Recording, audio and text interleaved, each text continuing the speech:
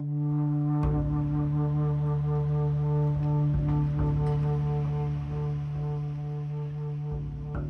weeks ago in New York, journalists were summoned to this hotel for a press conference.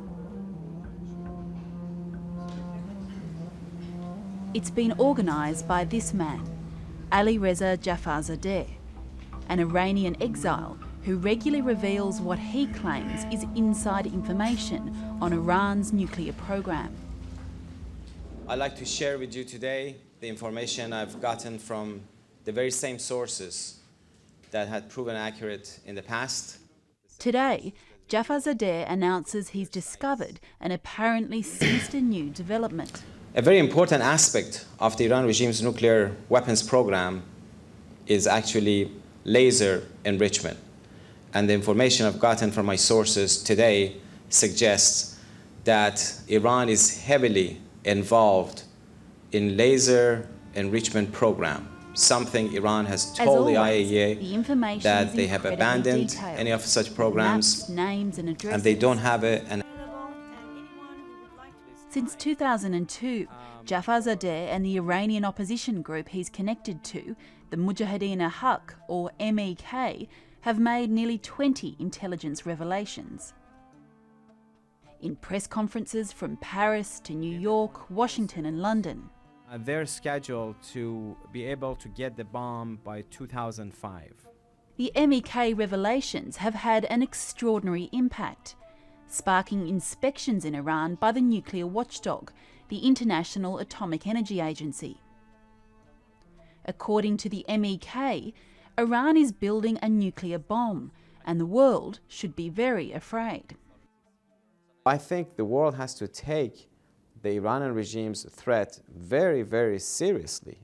These Ayatollahs believe in, in what they say, believe that they can eliminate um, Israel um, off the map. They can eliminate um, um, uh, the superpowers. According to this Iranian opposition group, there is only one solution. You need to slay the dragon. This is the solution. You need to slay the dragon, which means regime change.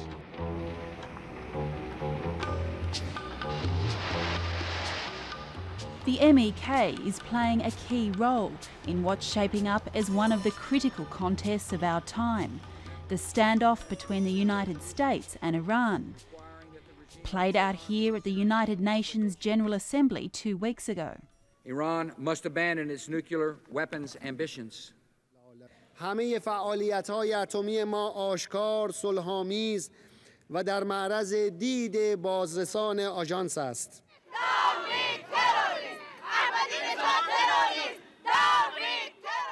Outside the United Nations that day, Ali Reza Jafarzadeh and the Mujahideen al-Khalq are again trying to get their opinion heard. obtaining the bomb, the nuclear bomb, would unquestionably give Tehran the upper hand in the region. And some powerful forces in the West are listening. The MEK's main backer in Washington is a newly formed think tank called the Iran Policy Committee, headed by a former Reagan White House official, Professor Raymond Tanter. The regime change clock has to start. Right now, the regime change clock is not even ticking. In the Iran Policy Committee, Professor Tanter has created a powerful grouping of former CIA, Pentagon, and White House officials. One among which is the Iran Policy Committee. At forums like this briefing on Capitol Hill, the group is trying to convince the American government that the MEK can help them achieve the goal of regime change. We didn't choose the Mujahideen il Khalq. The data hit us between the eyes. The analysis passes what I call the interocular test. It hits you right between the eyes. I invented that phrase.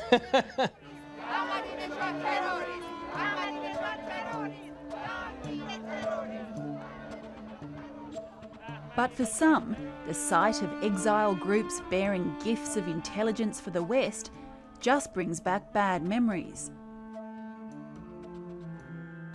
In the past on Iraq, we were fed a lot of false information to try to get our attention and to get us to do what we did. We bought it. And I have a very hard time understanding how anybody can maintain a straight face and say, again, that we should do the same thing all over again. Professor Gary Sick has served on the National Security Council under three presidents.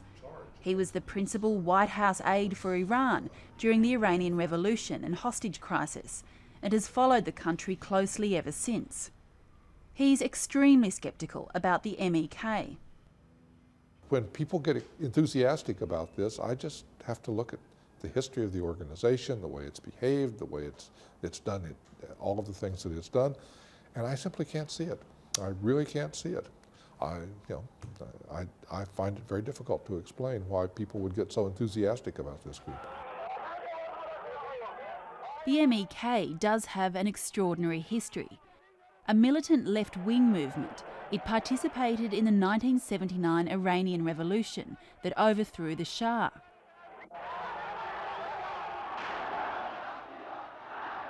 But afterwards, when the Ayatollahs took power, the MEK began fighting the new regime. It carried out bombings that killed senior Islamic leaders, and many of its members were executed. In the 1980s, it moved its military base to Saddam Hussein's Iraq. From here at Camp Ashraf, it launched attacks across the border and successfully carried out assassinations and bombings within Iran.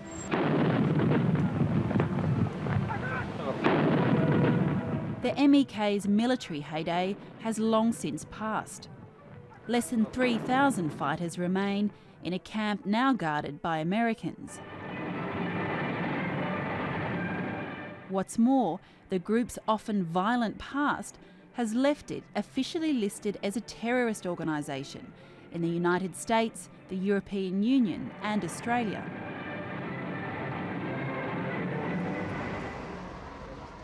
The real action for the MEK now is in the West, where a bevy of lobbyists is operating, including Ali Safavi here in London. Safavi has devoted most of his adult life to the MEK struggle. Now he's working to get the group taken off the terrorist list. His office located around the corner from Parliament. And uh, obviously the office is very close so that uh, it would be more uh, convenient both for us and for them. Being listed as a terrorist organisation stands between the MEK and real political credibility. Safavi claims the group was only put on the list by governments trying to win favour with Iran. It has nothing to do with the nature, with the conduct, or the activities of the Mujahideen. Uh, it is uh, basically a, a bargaining chip. Ali Safavi is trying to convince the West of the apparently impressive democratic credentials of the MEK and its political wing, the NCRI. The NCRI basically advocates a secular democratic form of government, a, a, a, government that is based on the separation of church and the state, or mosque and the state, if you will. Leading the concerted charm offensive is the group's leader, Mariam Rajavi, who's based in Paris. She's offering up an enticing proposition to the West. Aujourd'hui, je suis venu vous dire que la communauté internationale n'est pas obligé de choisir entre des mollahs avec la bombe atomique ou la guerre. Il existe une troisième voie, un changement démocratique par le peuple iranien et sa résistance organisée. Mariam Rajavi says if the MEK is just taken off the terrorist list, it will be a sign for the people of Iran to rise up and overthrow their government. It's this proposition that's winning support with the Iran Policy Committee in Washington and in parliaments around the West. Here at the European Parliament, British Conservative MP Brian Binley tells a group of MEK supporters that the majority of the House of Commons and 130 members in the House of Lords are behind the group. Because they are the antithesis of the dictatorial fundamentalists that rule in modern day Iran today. And indeed, the very antithesis of a regime that I believe poses the greatest threat to global security that we face as a global people. Binley was converted to the cause after being approached by an MEK supporter in the halls of Parliament. I met with a, a gentleman called Nasser, who, who um, is a supporter of uh, the National Council, and uh, we talked, and he works in and around the House. Uh, uh, as, a, as a lobbyist, I suppose you would say. And we talked, and I liked what he had to say. And more importantly, what he had to say seemed credible in the way that I've just explained. These are people who really believe that Iran, the regime should be changed, that this regime of mullahs should be done away with. And you look around and you don't see any other place where you can put a lever. And the I must say for the Mujahideen, to give them full credit, you know, they're very good at their propaganda.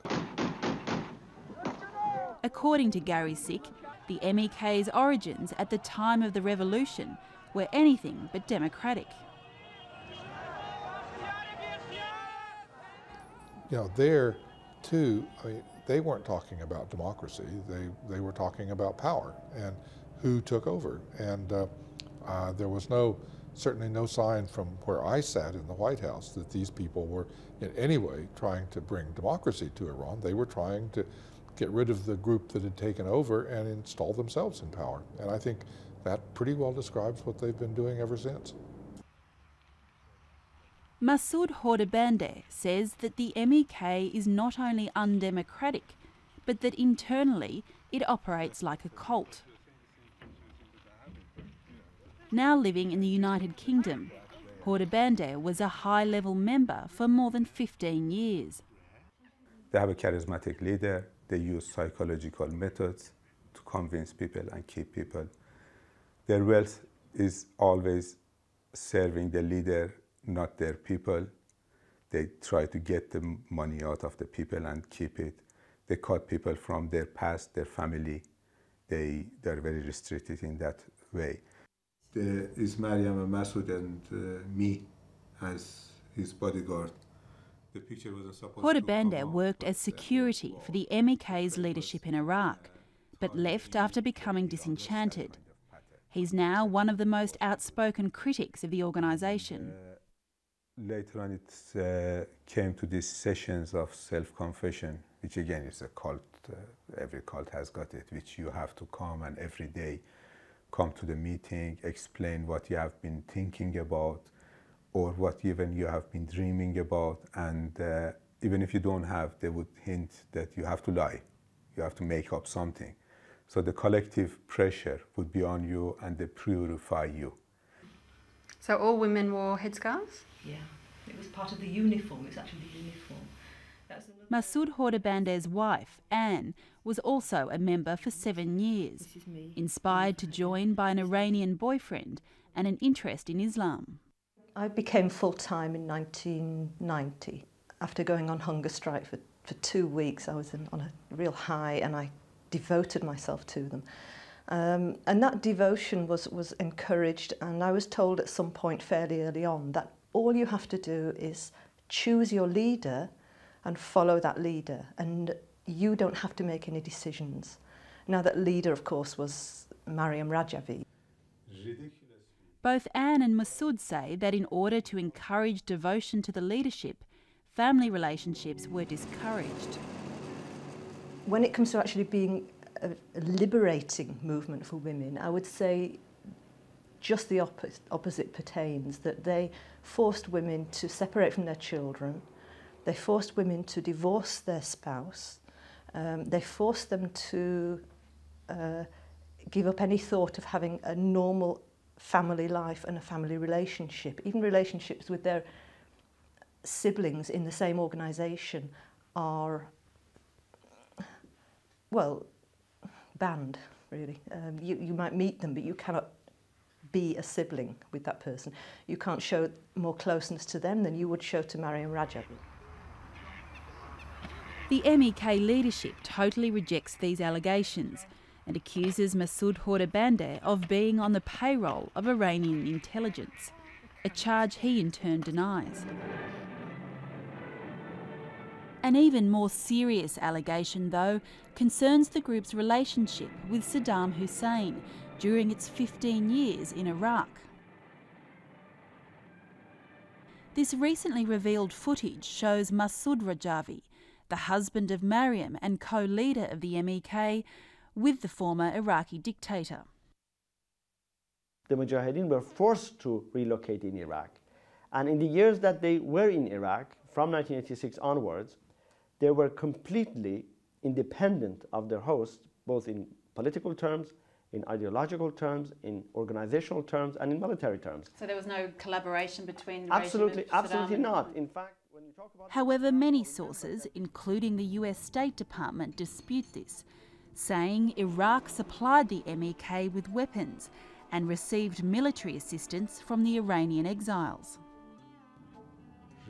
Former member Masoud Khodabandeh says that after the first Gulf War in 1991, Saddam's security chief, Taha Yassin Ramadan, asked the MEK to help suppress the Kurds.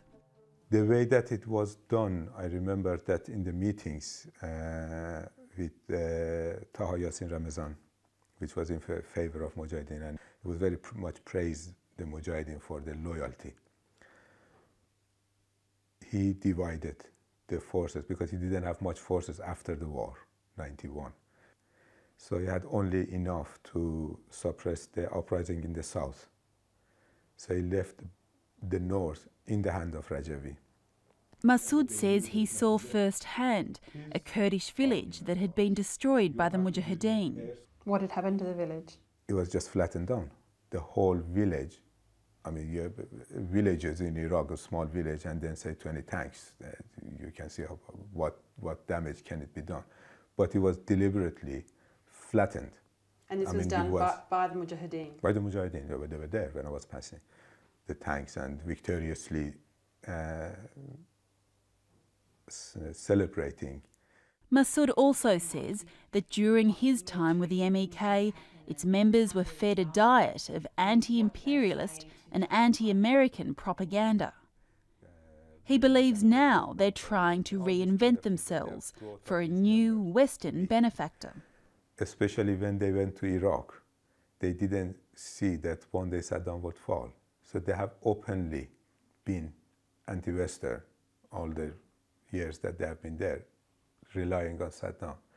Any sort of democratic face that they put is, uh, is, a, is a false face. What, why do you think they're putting on this false face now?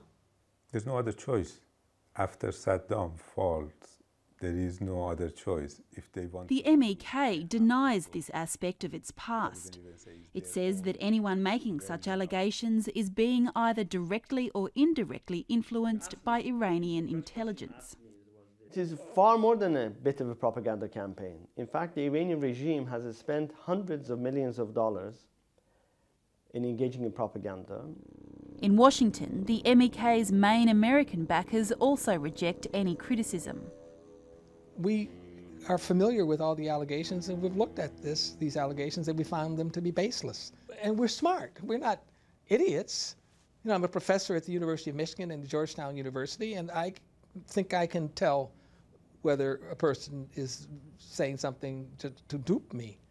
And the Human Rights Watch and various others who've said that that the Mujahideen al-Khalq and the National Council of Resistance of Iran are changing their face in order to appeal to groups like the Iran Policy Committee haven't done the research. While the MEK and its supporters say there's nothing in its history to be ashamed of, experts say that's not how it's viewed in its homeland. They are certainly despised. There's no two ways about that. Um, they are seen as turncoats. They are seen as traitors, uh, people who joined the, Iran's enemies uh, to try to to uh, overthrow the government.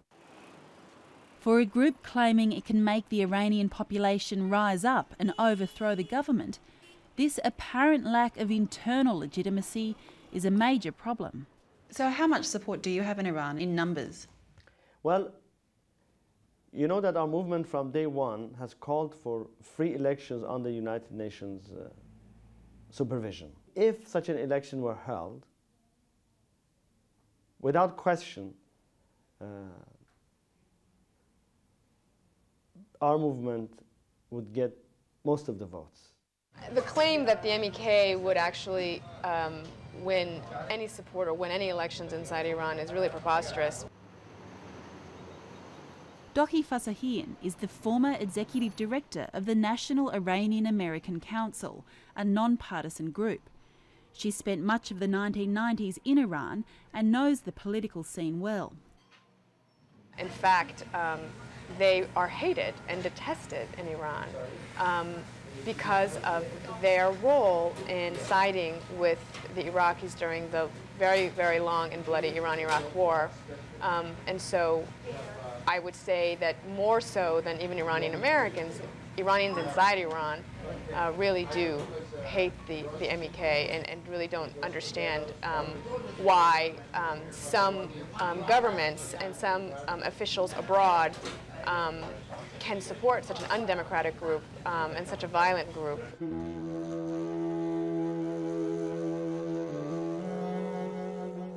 Political credentials aside, the strongest claim the MEK has on Western attention is its intelligence on Iran's nuclear program.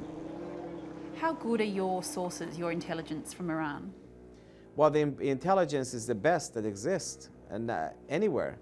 Um, the best track record in terms of intelligence regarding Iran comes from the sources of the Mujahideen Khalq and the NCRI. It wasn't the intelligence community of the United States or Britain or other Western countries that discovered Natanz. The MEK's biggest claim to fame has been its revelation in 2002 that Iran had a secret nuclear site at a place called Natanz. After the announcement, the International Atomic Energy Agency confronted Iran, and Iran opened the site for inspection. So I think the Iranian opposition group, what they did, their real contribution was to start a chain of events where Iran had to admit that it had a secret gas centrifuge program and other, and other secret nuclear programs and helped get the IAEA into Iran to start uncovering um, a whole set of, of misleading statements or uh, hidden facilities in Iran. And this building was sized to hold a thousand centrifuges. It could actually hold more. David Albright is a physicist and president of the Institute for Science and International Security in Washington, D.C. He's an expert on secret nuclear weapons programs throughout the world. While he credits the MEK with bringing Natanz to the world's attention, the site was not in breach of the Non Proliferation Treaty. Albright also says later revelations have not proven as useful. Since then, the record's been a lot more mixed and, and, and uh, a lot of revelations, you know, things going on at, you know, making, related to making nuclear weapons. Um, I went to one place and found nothing. There was some equipment they, that was imported. They said was you know related to nuclear weapons. It turned it was turned out on analysis, it wasn't even suitable for use in a nuclear weapons program. So I think the you know you have to sort of read beyond the detail and try to make sense out of it, and often it doesn't make any, or or it's just speculation. Dateline also understands that the International Atomic Energy Agency has examined much of the intelligence provided by the MEK and its political wing, the NCRI. And while it agrees several early claims were on target, the rest have been unreliable. All their revelations paint a picture of Iran having an incredibly advanced nuclear weapons program. Would you agree with that assessment? Well, it's, it's, it's relative to what? I mean, compared to Iraq, which had nothing, yeah, it's quite advanced. Um, are they close to building a bomb? I mean, most assessments, including our own, our own, are that no, they're not. No one knows whether the revelations are true. So how could someone make a statement that the NCRI MEK revelations are off? Intelligence people say this, but they don't back it up because journalists don't do a good job in querying them. Say, what is your evidence? Oh, I can't say. Hello? That's not right. But, but, but, by the same token, how can, if the NCRI holds a press conference saying, look, we've got these documents, we know this information, and there's nothing else to back it up, how can you be sure that that's true? Look, intelligence is an art. What you need is to use the MEK NCRI revelations as lead information with which you compare with information you acquire independently. But if revelations are being made and they're not proven and they're being put out there in the media and put out there as a case for regime change and they're not actually substantiated, isn't that alarmist? How do you prove revelations with a totalitarian Islamist fascist regime? The MEK knows that hardliners in Washington are desperate for any information that will confirm their suspicions of Iran. So, if the MEK is trying to get credibility as a group that will be uh, able, that, they, that the United States should cooperate with in trying to overthrow the regime, focusing on the, the nuclear side is an absolutely logical place for them to focus. So I, I don't blame them for doing that. I think that that's that's an area that is going to attract attention, it's going to get them a following, and it will actually attract attention of people in Washington. According to former member Masoud Khodabandeh, the MEK is just trying to stay alive. They want to survive. They are saying, well, take us off. The, the, the end game is that take off off the list of terrorism and use us. And in a clear convergence of interests, Professor Tanter from the Iran Policy Committee is happy to help. I'm not a lobbyist for the MEK and the NCRI. I'm a lobbyist for America, which is different. So you, but you keep asking me questions which imply that I'm trying to push the MEK onto people. But, but you're promoting their cause. You're trying to get them off the terrorist no, list. I'm not promoting their cause. I'm promoting, promoting American interest. There's a difference. You're not suggesting that the Mujahideen is necessarily a good replacement government. You're saying rather that they are a good tool for, for Western interests. That's what point. you asked me. They're, they're, they're a tool for Western interest. Yes, they are accused of being a tool of Western interest by the regime. It's true. And they are a tool for Western interest. Yes, they want to be a part of the West.